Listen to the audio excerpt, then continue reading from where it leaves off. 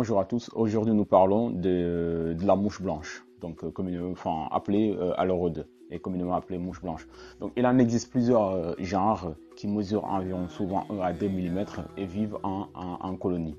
Donc, en s'amassant sous un grand nombre au-dessus des feuilles. Donc, facile à, à retrouver dès qu'on secoue les feuilles, on les voit voler. Donc, ou bien on les voit tomber de par leur couleur aussi. Alors, venons-en au problème. Donc, durant les périodes chaudes, ou du moins euh, lorsque les températures commencent à, s'élever. Donc euh, c'est dans cette période qu'on doit plus redoubler de vigilance. Donc euh, particulièrement pour des plantes comme les choux, tout ce qui est cucurbitacées, les fraisiers aussi, les haricots, les tomates aussi, la pomme de terre et aussi tout ce qui est agrumes les manguiers aussi, où on peut voir que la femelle elle pique dans les fruits mûrs pour pondre ses œufs dedans. Et euh, même pour ceux qui font de la floriculture aussi, ils sont pas euh, à l'abri. Donc voilà, en gros c'est ça. Donc dans les serres, ces insectes sont encore euh, plus redoutables parce que là-dedans, ils y trouvent les conditions, on va dire, idoines pour leur reproduction, c'est-à-dire tout ce qui est chaleur, tout ce qui est sécheresse aussi. Donc, du coup, après avoir compris à peu près, en tant qu'agriculteur en Afrique, au Sénégal, je veux dire, en tant qu'agriculteur, après avoir compris euh, la pression que ça exercera, on va essayer de voir à peu près quels sont les dégâts que cela pourra occasionner afin de pouvoir être averti à peu près sur euh, euh, les conséquences à venir sur sa récolte ou voilà, sur ses, végétaux. Et donc, en termes de dégâts, donc, en général, les, ça, les adultes ainsi que leurs larves piquent et sucent la sève des feuilles. Donc, qui vont présenter euh, à la longue une décoloration. Et à terme, la plante se rabourgit un peu et euh, les feuilles tombent. Et quand on dit feuilles qui tombent, donc c'est pas très bien pour la plante.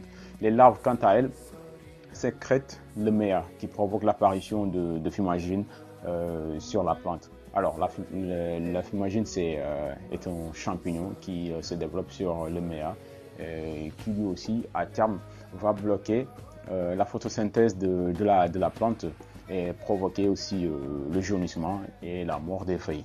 Toujours dans le mauvais sens en fait.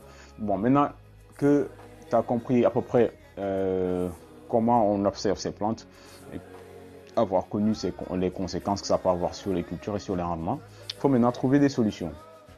Voilà, donc en lutte préventive, ce qui peut se faire, donc euh, si tu as des serres ou des châssis, peu importe, le mot d'ordre, c'est l'aération dans ce sens-là. En prévention, je suis bien clair là. Donc la sécheresse euh, du sol est à éviter. Donc le paillage aidera aussi à maintenir euh, une bonne immunité. Donc la mouche blanche, elle craint le froid et l'humidité.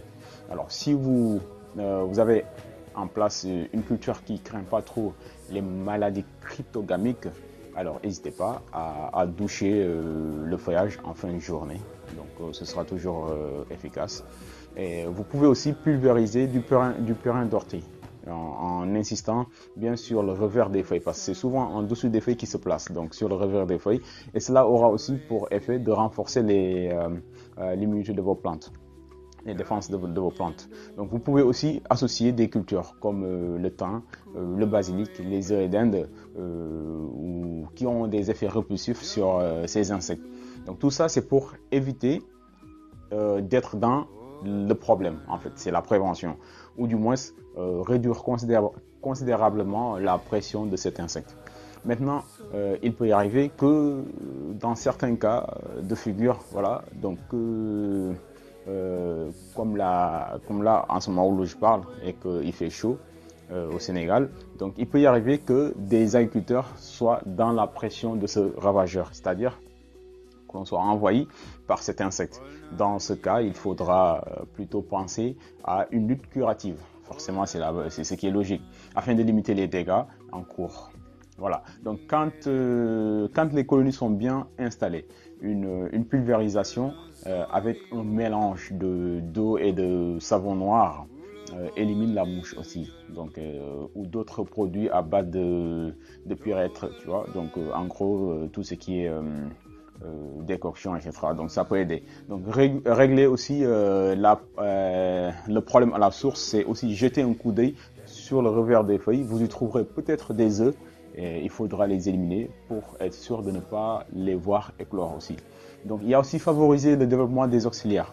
Ça aussi, ça peut aider. Euh, et ça peut aider à, lutter contre la maladie. Donc on me dira peut-être que j'ai dû oublier tout ce qui est insecticide. En vrai, non, j'ai pas oublié. Voilà. Donc euh, pour moi, personnellement, un conseil que je devrais donner, c'est d'éviter tout, c'est d'avoir tout de suite recours à un insecticide. Déjà qu'ils ne font pas la différence, ces insecticides ne font pas la différence entre cet insecte ravageur et euh, les auxiliaires donc de vos cultures, de vos parcelles, qui sont des euh, atouts pour, euh, pour, euh, l'agriculteur. Mais aussi certaines mouches certaines mouches blanches, certaines souches de mouches blanches ont, développé une résistance aux insecticides. Donc, de manière générale, éviter au maximum possible de, les produits chimiques qui déjà approvissent nos, sols et qui n'ont pas un impact direct comme on le souhaite parce qu'ils peuvent aussi tuer les autres micro-organismes qui peuvent aider à notre, au développement de nos cultures.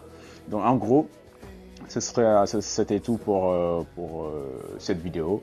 Donc, euh, entre-temps, je vous exhorte à vous abonner, liker, partager comme vous voulez à la vidéo. Et Inch'Allah, je vous reviendrai dans bientôt pour toujours continuer dans la série Ravageurs et maladies sur cette, cette lancée. Donc, merci à vous et à bientôt.